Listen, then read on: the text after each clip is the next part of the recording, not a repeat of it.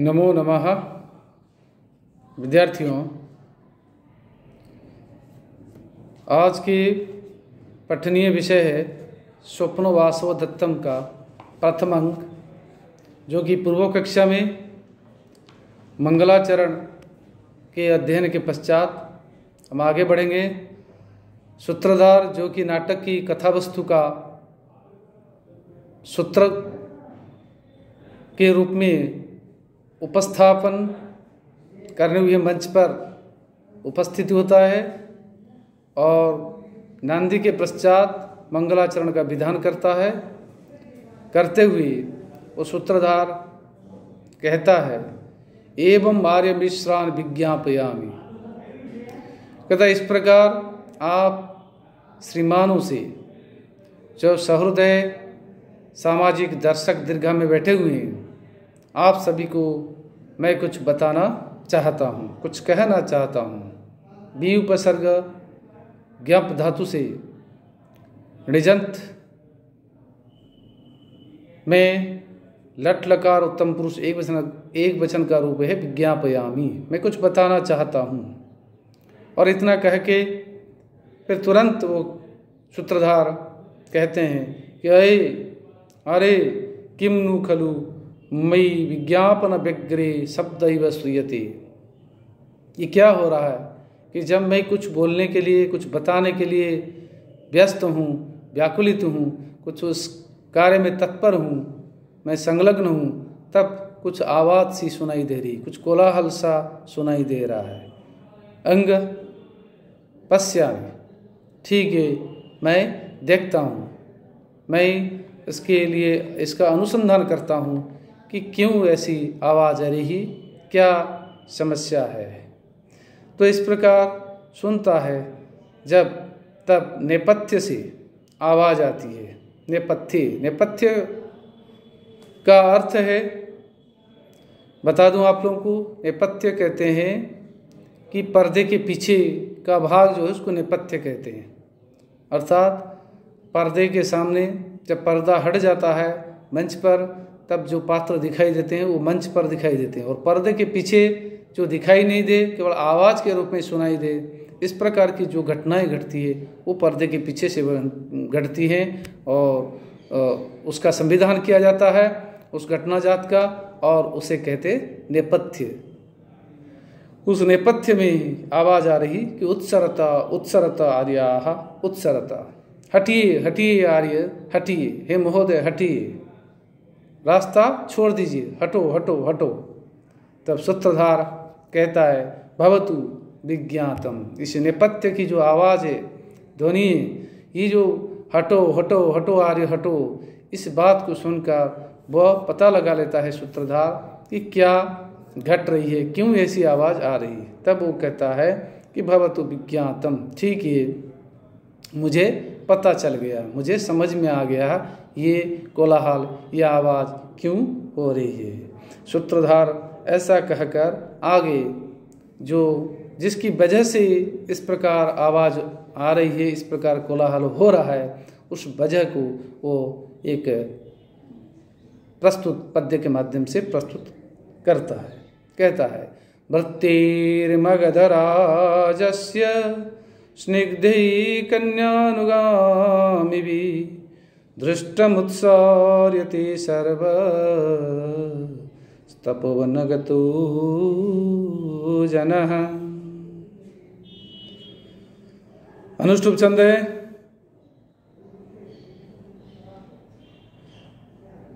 अनुष्टुप छंद है प्रत्येक चरण में आठ आठ वर्ण होते हैं।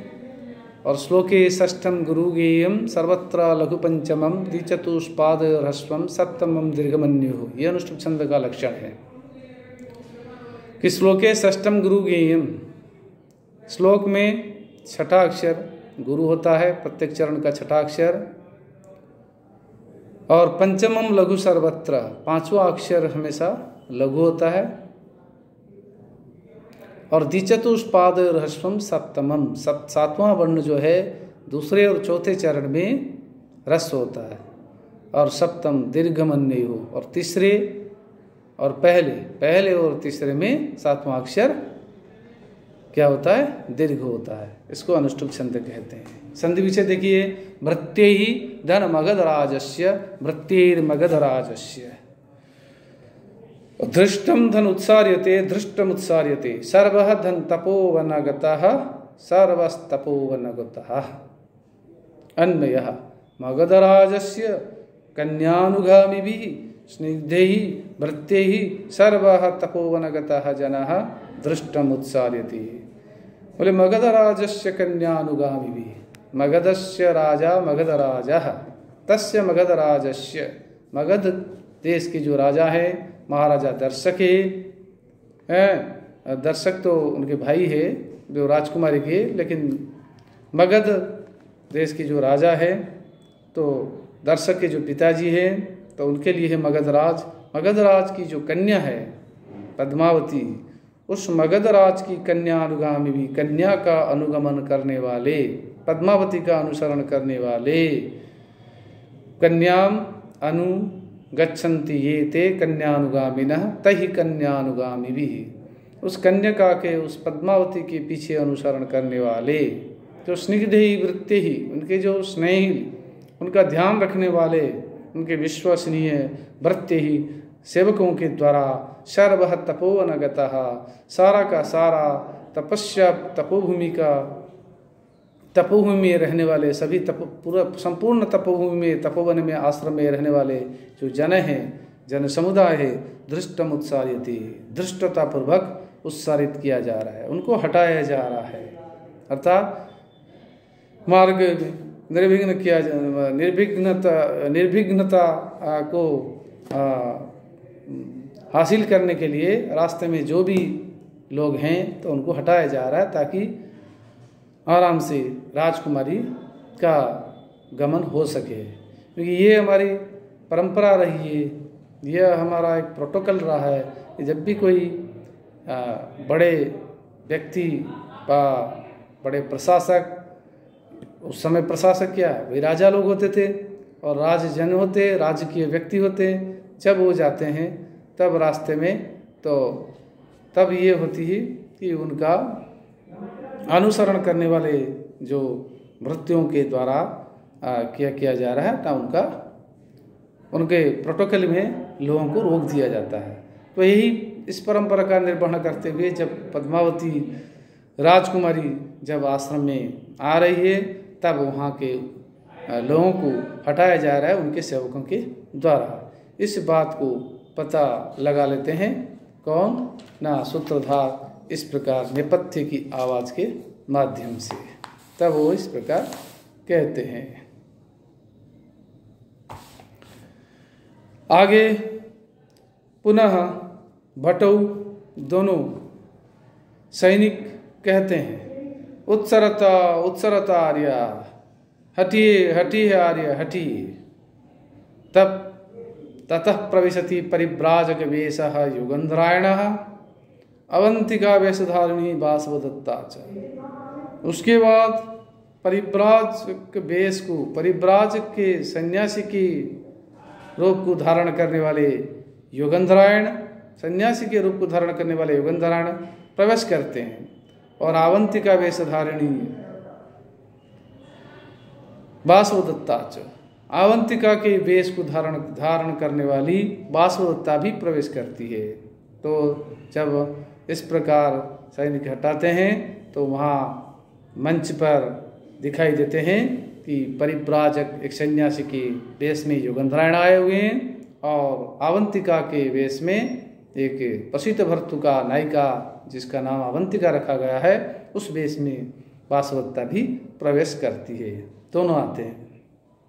तब योगेंद्रायण कर्णम दत्वा, अर्थात योगेंद्रायण थोड़ा सा कान यूँ आगे करके मतलब यूँ सुन करके, कर्णम दत्वा सुन कर जो आवाज़ आ रही कि हटो हटो हटो तो कर्णम दत्वा मतलब कान में यूँ करके आगे करके सुनकर वो कहता है, कथम यहाँ भी उत्सार्य थे क्या यहाँ भी हटाया जा रहा है? कथम यहाँ भी उत्सार्य थे कुतः? कैसे?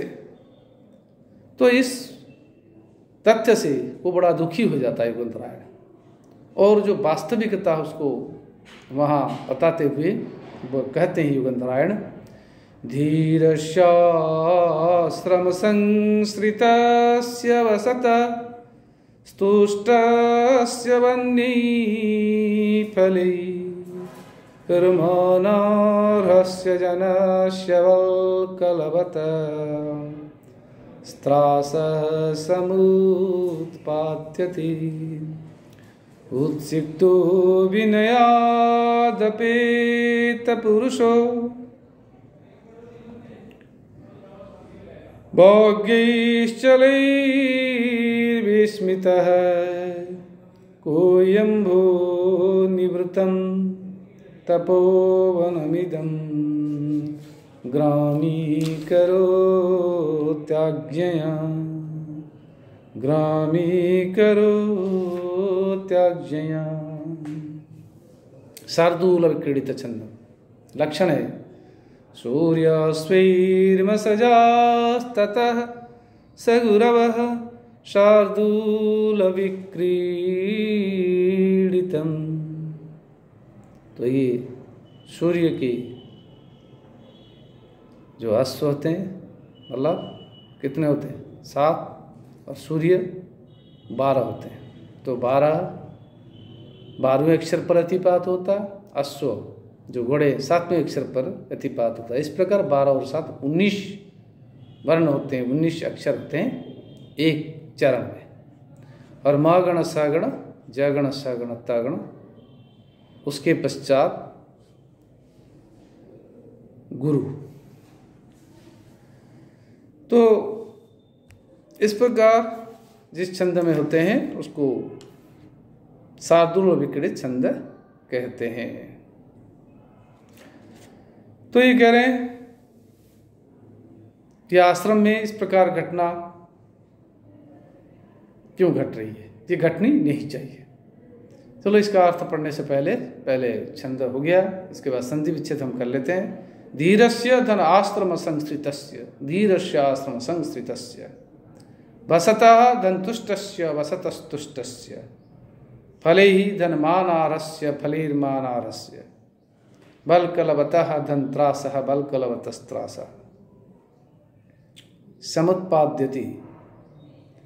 सम धन उत्पाद्यति विनयात धन अपेत पुरुष विनयात अपेत पुरुष भाग्य ही धन चले ही धन विस्मित भाग्य चले विस्मित कह धन अयम को इयम तपोवनम धन इदम तपोवनम इदम ग्रामी करोति धन आज्ञा ग्रामी करोत्याज्ञा अन्वय धीरस्य, बन्नी फलै तुष्टस्य, वसतः, बल्कलवतः, मानारस्य आश्रम संसितस्य जनस्य त्रासः समुत्पाद्यते। भो अयम कः उत्सिक्तः, चलैः भाग्यैः विस्मितः। विनयादपेतपुरुषः निवृतम तपोवनम आज्ञया ग्रामी करोति बोले धीरस्य, जो धीर है, जो गंभीर है, जो धैर्यशाली है, जिनके पास रजो और तमगुण का अभाव है, केवल सत्य गुण संपन्न, निष्ठ, तपस, तपनिरत, जिनको कोई इलाज लपेट, किसी भी प्रकार की काम वासनाएँ या भोग प्रति आसक्ति नहीं हो ऐसे धैर्ययुक्त जो तपस्वी लोग हैं। और बन्नी ही फल ही तुष्टस्य।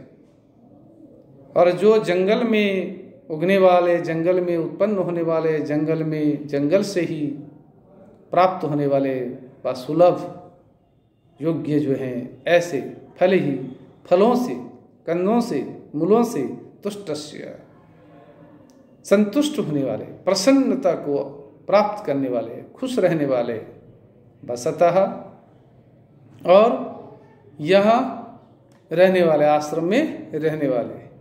बलकलवतः जो बलकल पेड़ की छाल को कपड़े के रूप में, वस्त्र के रूप में धारण कर अपने, जो लज्जा निवारण का कार्य को संपन्न करने वाले लोग हैं।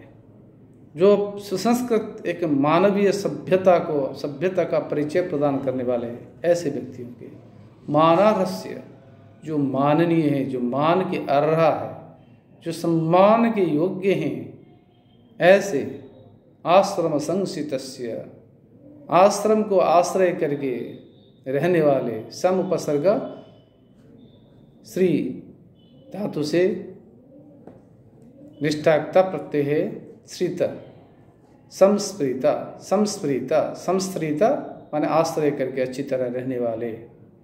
जनस्य, तपस्वी लोगों के त्रास समुत्पाद्य थे।